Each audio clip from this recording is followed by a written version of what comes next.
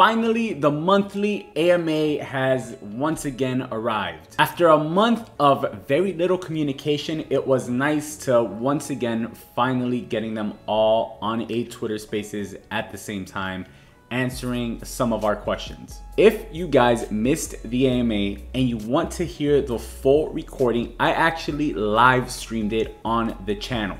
You guys can just go to videos or hit where it says live streams if you're on mobile and hit this one right here, official STEPN live AMA. I recorded the entire thing and even gave some of my own input at the end.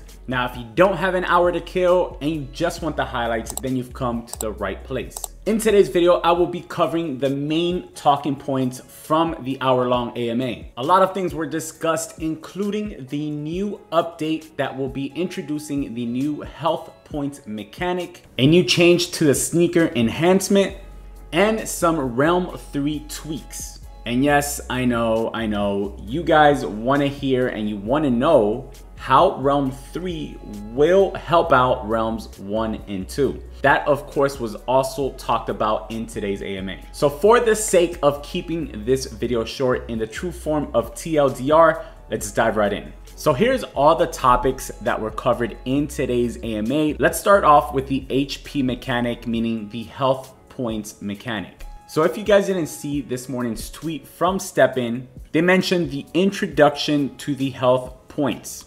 Health points is going to be similar to durability for your sneakers, but with a little twist. Now they decided on adopting a dual decay system to ensure that the game remains sustainable for the long term. Now the way that it will work is that the degree of decay is affected by amount of energy used, the sneaker quality, and your comfort stats. So the higher your comfort stat, the lower the decay on your sneaker. So this is very similar to the current feature of durability, except durability is only affected by energy and your resilience stat. Health points will be affected by energy, comfort stat, and your sneaker quality as well. To restore your health points, you will be required to burn a mix of comfort gems, GST, and GMT. Some things to note about the health points is that all sneakers will start with 100% health points. If your sneaker's health points goes below 20%, it will no longer count towards your energy. And if the health points goes to zero, then you can no longer use the sneaker. In order to sell the sneaker or transfer it out, your health points will have to be at 100%.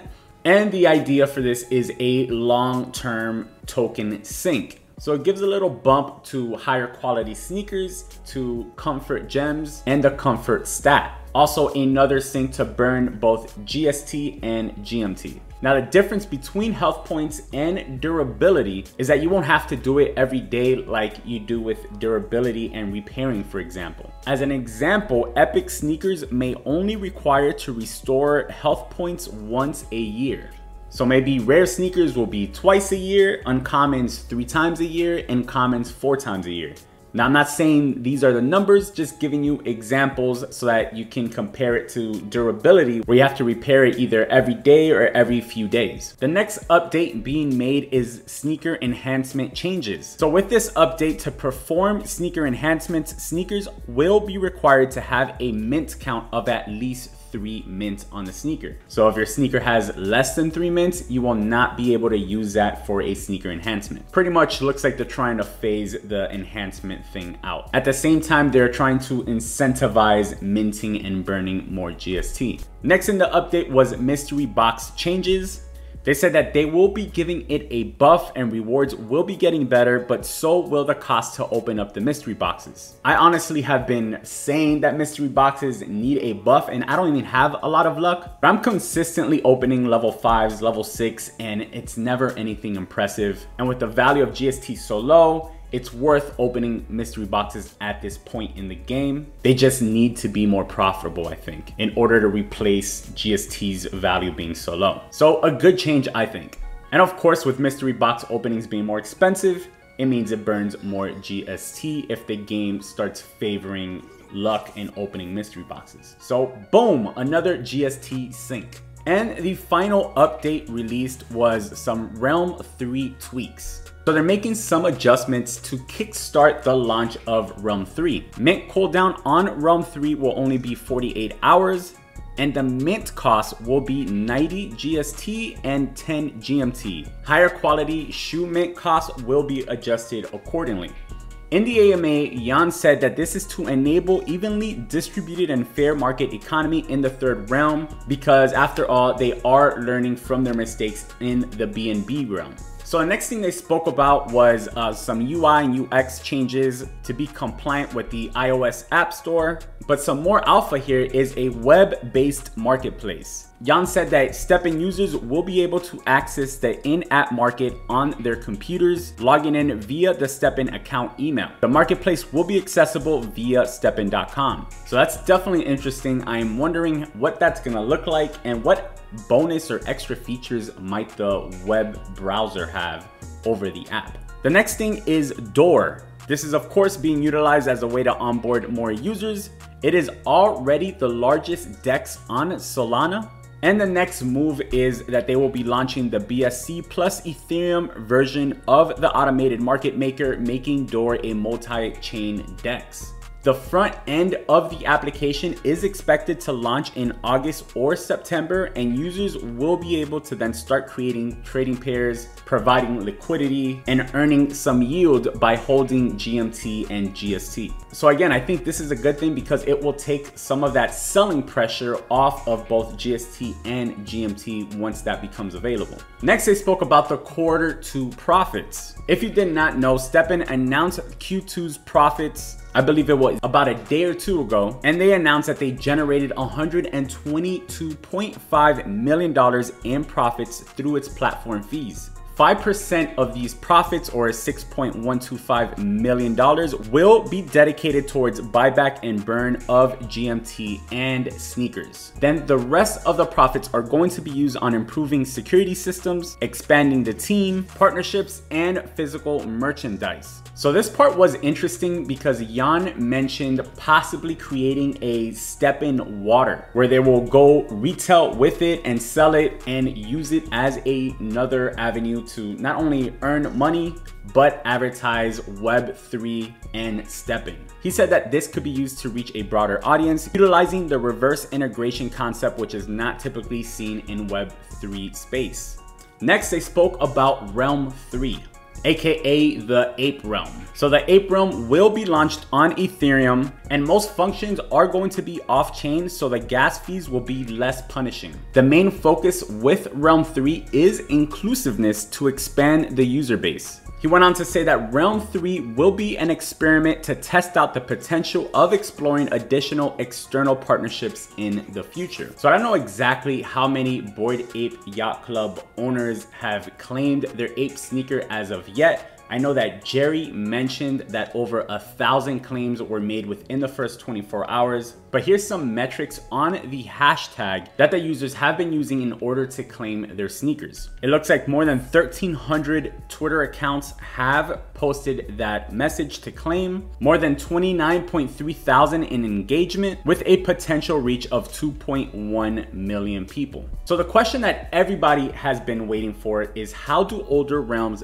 benefit the launch of the third round. But before I tell you guys what they said about this, make sure to smash that subscribe button. If you guys wanna stay up to date with everything that's going on with STEPN, the crypto markets, or you just want to stay up to date with the latest money making trends in crypto, I upload videos several times a week about these topics. So please smash that subscribe button so that you never miss another opportunity to make money in crypto again.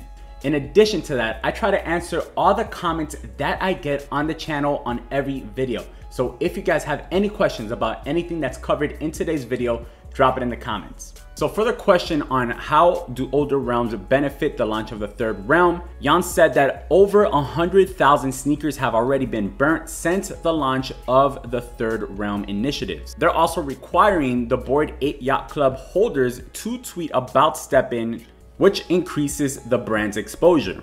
He went on to say that older realms will receive priority for upcoming partnerships such as renowned sports clubs, film IPs, and social media conglomerates. There will be a portion of revenue from Realm 3 that will also go into Realms 1 and 2 to support the ecosystem. Also, it will be more economical to be in the game-wide new gameplays in the older realms versus the newer, more expensive realms, and participating in such gameplays can lead to special future participation perks. Some of these will offer real world perks to holders of the specific NFT assets created for these partners. So as far as the first one, uh, it's definitely helped somewhat, but sneaker prices has still not really moved. They only have fallen down and now they'll be slowing down those enhancements so we probably won't be having anything near that number anymore. And there will probably be no more enhancements period once realm 3 comes out. So on the second point bored ape yacht club holders are required to tweet and that is definitely true. We've had over 1300 unique twitter accounts tweeting this with a potential reach of over 2.1 million users. Now the question will be, will they keep tweeting about this project once Realm 3 launches? On the third point, older rounds will receive priority for upcoming partnerships. That's cool, but we have to see how exactly that is going to work. And will it be for everyone or will it just be Genesis holders? A portion of revenue from Realm 3 will go into Realms 1 and 2 to support the ecosystem. Again, how is that going to work? What is it going to be for? Is it going to be the same thing that they're already doing, buying back GMT and sneakers? That one would really have no impact on GST prices overall, which is what probably the majority of people are worried about. It will be more economical to be in the game wide new gameplays in the older realms. That's definitely going to be true. So for example, when GMT earning comes out, it's going to be way cheaper to probably set up a level 30 GMT earner on the Solana realm than on realms two and three. And with a boost to mystery boxes, it's also cheaper to build up a luck sneaker on realms one than on realms two and three. So that could bring more people back or move them over to realms one and two, especially if they incentivize participation in these gameplays with some possible future perks.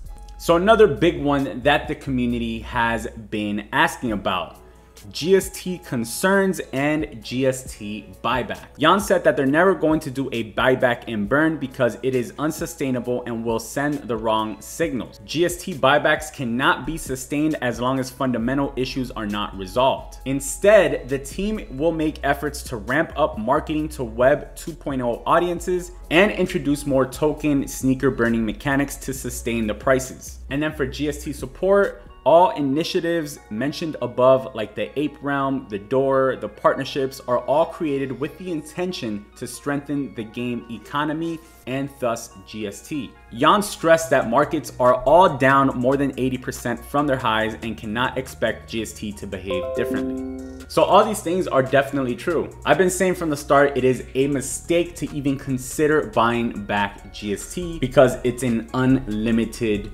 coin. It's an unlimited token. That's the same as just burning money. What is needed is more sneaker and token burning mechanics to be able to sustain and to balance out the inflationary tokenomics. No matter what coin you look at right now, everything basically looks the same. Everything is down between 70 to 90% in the market. Unfortunately, this all plays into a part for GST. It is not only what's within the game economy itself that's affecting the price of GST, but also what's going on in the overall economy. Next was GMT earning. He said that GMT will be the ultimate balancer to the GST GMT ecosystem. Team is trying to expedite burning of GMT to get ready for GMT earnings to be released. Once GMT earnings are enabled, GST supply will drastically decrease. And again, this is again because there's a lot of rewards being given out right now in GST. Now, another thing they did mention is that they want GMT earnings to be released in an ideal environment, not during this current environment. He said once this happens and they finally are able to release GMT, that we should see some stability with GST prices because there's going to be a lot less sell pressure at that point. Since a lot more people will be opting to earn GMT instead of GST, that will put less sell pressure on GST. And a lot more people will be using GST to build up to level 30 to get their sneakers there. So they have to burn a lot of GST on the way there, which again is a big burn mechanism and should help balance out the inflationary tokenomics that GST has. They went on to say that we want our community to know that this is a long-term project we fully expect to come out on top after the recession.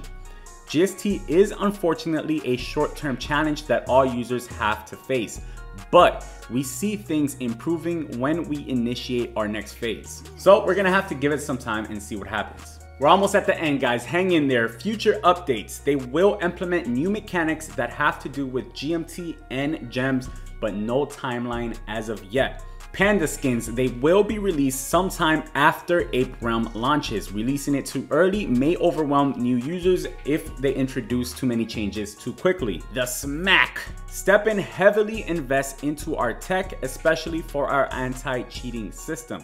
It makes up the core of STEPN's app. Currently, they're utilizing edge computing plus federated learning to address privacy and regulatory concerns. An example, it's a decentralized manner of training our AI system to access the studying of users' data without storing it. With these methods, their AI team has made incredible progress in resolving modern compliance issues. The Energy Bridge Assuming you have one shoe on both BNB and Sol chain, the amount of additional energy you will receive on the new realm in the first month will be plus two. On the second month, it'll be halved to plus one. And on the third month, it will provide no additional energy. They also said that the energy will be different and unique on every single realm. So you can potentially have up to 60 energy a day if you really wanted to. 20 on Solana, 20 on BNB, and 20 on the Ape realm. That is insane. Roadmap updates, they streamlined it to only include items that are being worked on. Everything that has been accomplished already has been removed from it.